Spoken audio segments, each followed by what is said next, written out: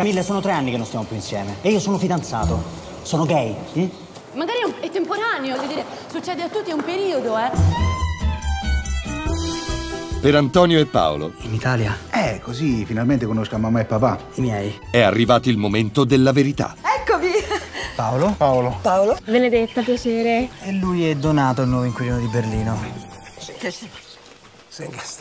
No, ma non si preoccupi, accade. Donato la vopa. Ci siamo conosciuti facendo un musical. eh. Hai fatto il musical? Perché non le piace il. No. È la versione gay del teatro. Ora Ah, poi scusa, mi avevi detto che tu lo sapevano che. serviranno amici fidati, Abbiamo un sacco di cose in comune. Facciamo un figlio. una famiglia dalle idee aperte Il mondo va verso l'integrazione, tutto il mondo. e tanto coraggio. Noi ci vogliamo bene. E abbiamo deciso di sposarci. Bella, è uno scherzo. Se non hai deciso di celebrare tu il loro matrimonio, te ne puoi anche andare da questa casa. Ma non eri tu che dicevi che questo è un paese che accoglie tutte le persone? Intendevo. eh, insomma, turisti, profughi.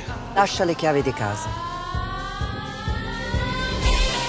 A marzo mia madre non ci verrà mai a questo matrimonio. siete tutti invitati Lo faccio io. Che cosa?